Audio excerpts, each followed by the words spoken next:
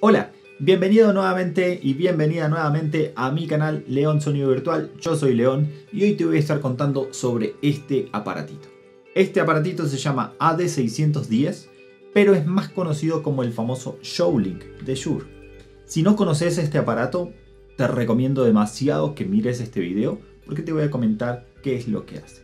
Si vos ya sabes lo que hace, ya lo conoces, tenés una idea, te invito a que te quedes porque en este video yo te voy a enseñar cómo se configura y cómo se usa en el sistema.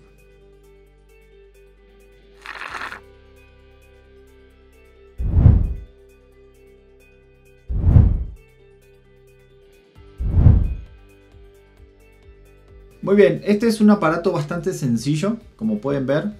Tiene dos antenitas, tiene una conexión de corriente y tiene un Ethernet. Por el Ethernet puede viajar la corriente, así que no es necesario del todo tener la corriente conectada por este puerto porque lo podemos mandar por PoE si el dispositivo provee de esta alimentación.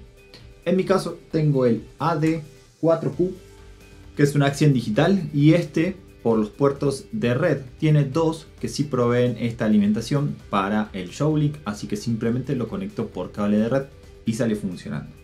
Idealmente este aparato está pensado para funcionar en conjunto con el AXT600, también de la marca Shure, que hace todo el trabajo automáticamente. ¿Qué trabajo hace? Ok.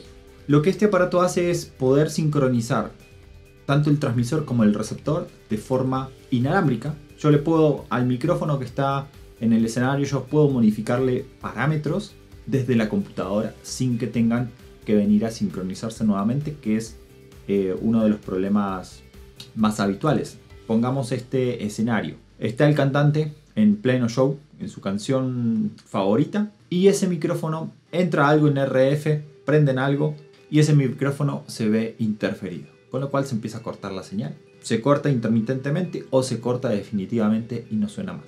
En la antigüedad, esto se resolvía teniendo un spare, llevando el spare, agarrando el main, cambiando de micrófono y resolviendo lo del RF en monitores, ¿no? cambiándole la frecuencia, sincronizando el micrófono y nuevamente en algún momento buscabas la oportunidad para cambiar este micrófono. Hoy en día eso no hace falta, ¿por qué? Porque tenemos el Showlink.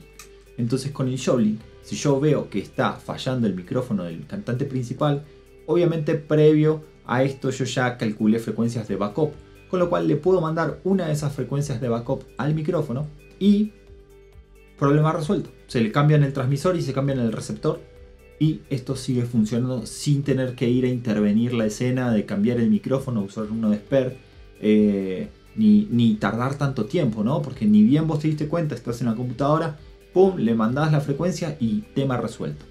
Perfecto, así lo uso yo actualmente que hago monitores y RF en Manuel Turizo. Vamos a poner una canción. Este es Manuel Turizo. Muy bien. En este artista yo estoy utilizando esto, pero sin el AXT600 y lo estoy usando de esta manera, ¿no? De todas formas me sirve, ¿por qué? Porque no tengo que hacer este, este movimiento de tener que ir a buscar, de, perder unos segundos en ir a llevarle al micrófono. Ahora, con el AXT600, que no lo tengo yo en este momento, pero próximamente vamos a hacer un video de eso seguramente, vos lo podés conectar y ya dejar que el sistema automáticamente lo haga de inmediato.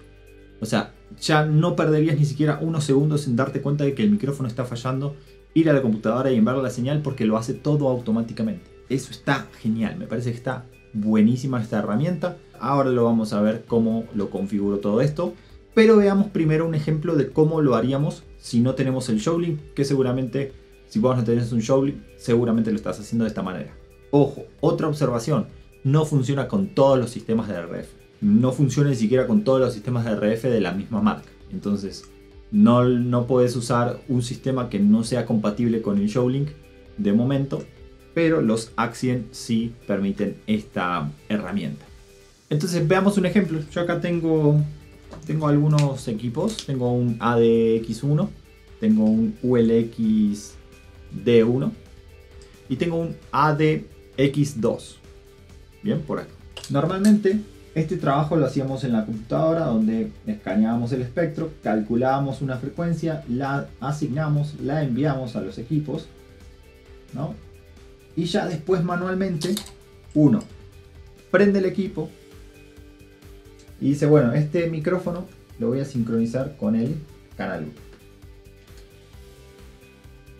Sincronizamos.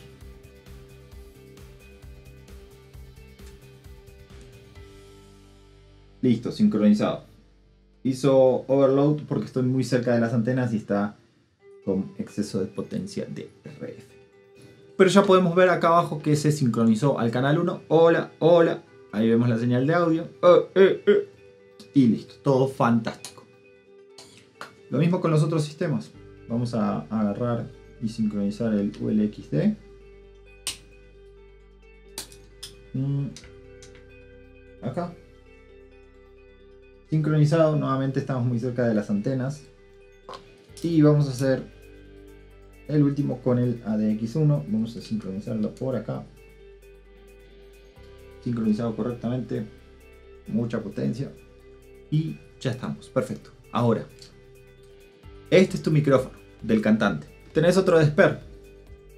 Si este falla, lo vas, lo buscas, das este, que está funcionando porque tiene una frecuencia asignada ya, determinada.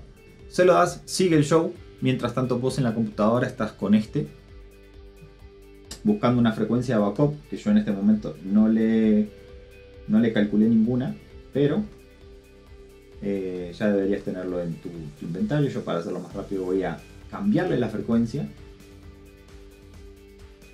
y se la voy a asignar de vuelta. Ya fíjense que sigue funcionando el micrófono, pero está en una frecuencia, en la frecuencia anterior que tiene conflicto.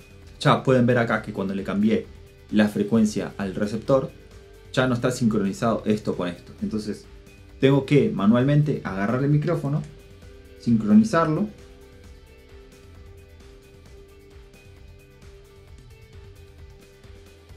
Hola. Y recién ahí yo ya resolví el problema. Con lo cual puedo ir nuevamente a dejar el micrófono main. Porque imagínate que este micrófono está todo personalizado. Entonces el cantante quiere su micrófono personalizado. Pueden tener un expert personalizado de la misma manera, hacen el cambio y no pasa nada. Pero el caso que no sea, lo van a devolver para que siga cantando con el main.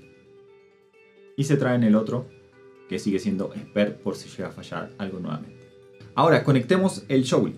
Yo tengo acá preparado un cable. Lo voy a conectar y fíjense que ya se prendió porque la alimentación está pasando por este mismo cable de red. Tenemos las dos antenitas, recomiendo ponerlas medio como que en 45 grados y lo dejamos por acá. Obviamente esto normal como cualquier otro equipo tiene que tener línea de vista y todo lo que ya sabemos de RF básico. Voy a apagar el micrófono.